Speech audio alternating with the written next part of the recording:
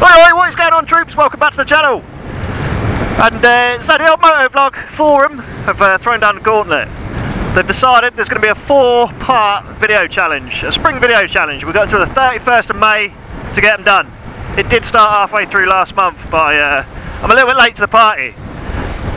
So uh, yeah, if you're not already a part of it, head over to motovlog.com and check it out. It's got all the details in there. But essentially, you're spelling bike with these videos, and the first one is a back road blast. So you got to take it, take your bike and take a video of a back road blast in your area that you really like, and I'm going to take you down that now.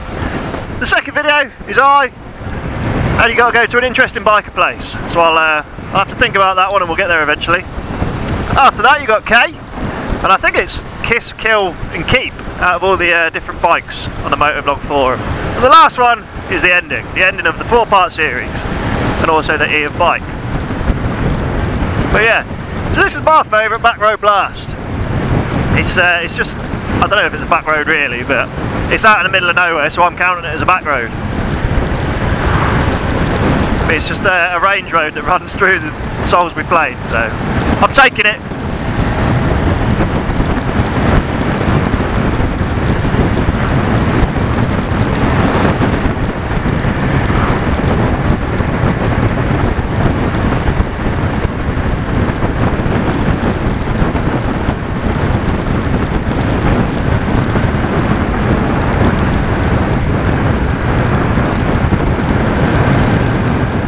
You can probably tell I'm out with Jess, you can see her there in front of me, so go check out her channel. Jessy and her Yammy, go show her some love. Fairly new channel, still getting started, but yeah, go check out her stuff.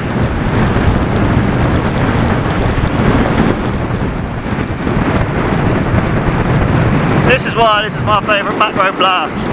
Not only is a fun bit of road, but the views are pretty incredible.